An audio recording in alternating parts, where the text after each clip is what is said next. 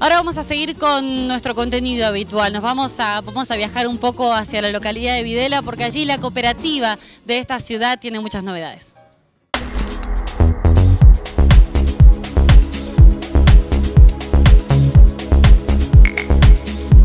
Y con nuestro espíritu de tener presencia activa junto a todos los protagonistas, en este caso Cooperativa Videla. Daniel, se dice que en los momentos de crisis hay oportunidades siempre para seguir apostando al desarrollo. Y ustedes aquí en Cululú, sobre la ruta número 4, aquí en el departamento de Las Colonias, ustedes hace un año más o menos pusieron el objetivo bien claro para instalarse aquí en esta localidad. Sí, sí, esto ha, ha nacido de, bueno, de un poco de aparecer esta oportunidad de negocio, ¿no es cierto?, de que este era un lugar que ya estaba en marcha, había una fábrica de balanceados, eh, y bueno, y apareció esta oportunidad y la cooperativa que se está desarrollando y que ya estaba sobre esta ruta en, en La Pelada, eh, creíamos que este lugar también podía servirnos para complementar ese, ese, ese trabajo.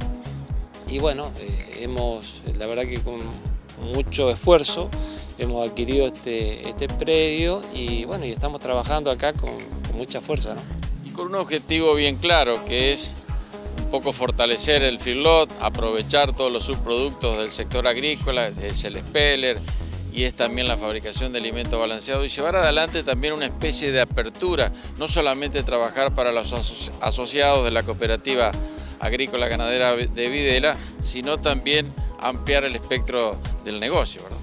Sí, sí, esto es, eh, bueno, dentro del plan estratégico de la cooperativa está este tema, ¿no es cierto? Está es, eh, en, todas nuestras bases, ¿no es cierto? En nuestra gente que está dispuesta a, seguir desarrollando estas nuevas actividades, venir a otros lugares y bueno, realmente no, no, va muy bien porque la verdad que la gente nos no ha recibido de muy buena manera y bueno, y, estamos trabajando, estamos trabajando bien y bueno, y esperemos poder brindarle todos los servicios que, que presta la cooperativa a, a toda la, la, gente de la zona, ¿no es cierto? ¿Qué cantidad de animales tenemos hoy aquí en Engorde, en este lugar de encierro? Bueno, ahora hay aproximadamente mil animales, pero bueno, estamos todavía en una etapa de, bueno, de, de, de estar acomodando todo esto porque bueno, realmente eh, se ha hecho casi todo nuevamente, se ha tenido que reformar todo lo que había, pero bueno, eh, creo que con el, este, apostamos a poder dar una, decir, eh, a dar valor agregado a los productos que, de la zona, es decir, tanto al maíz, al, a la soja y a todo, en este caso también a la, a la. No es una, una época fácil y la cooperativa lo ha demostrado, decir, que sabe que va a dar paso, va a tratar de dar los pasos justos y necesarios, ¿no es cierto?